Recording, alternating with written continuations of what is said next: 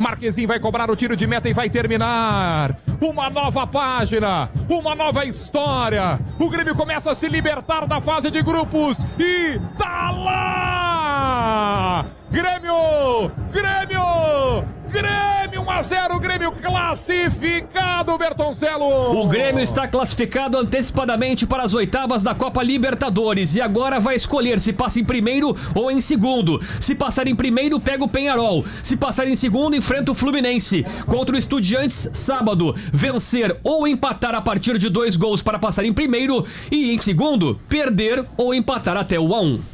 O time inteiro do Grêmio vai abraçar Marquezin. Ele é o nome da classificação, Maurício.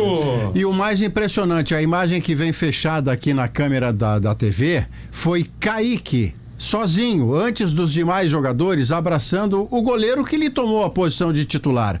Essa unidade de grupo é parte da explicação também de o Grêmio ter feito a volta por cima que está fazendo, pós-enchente, duas vitórias em Libertadores da América, a de hoje com um componente especial. No primeiro tempo, jogou parecido com o The Strongest, quando fez 4 a 0 Poderia ter repetido a goleada, faltou eficácia. E no segundo tempo, quando não deu para jogar bola, contou com o goleiro e competiu. A classificação do Grêmio restabelece a verdade do grupo. Agora, se será primeiro ou segundo, isso claramente é o de menos. O Grêmio passa. O Grêmio está classificado e tu queres o Fluminense, né, CCD? Eu quero, mas eu quero antes de qualquer coisa falar de Walter Kahneman. A força do coração desse jogador. É nesses jogos que tu vê o tamanho dos seus jogadores. Kahneman foi um leão. Kahneman foi desses jogadores que empolgam o torcedor. O segundo tempo não tinha jogo, pois o adversário pressionou.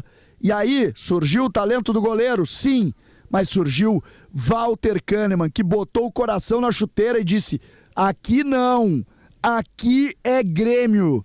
E o Grêmio está classificado depois de passar muito trabalho, porque tem coração.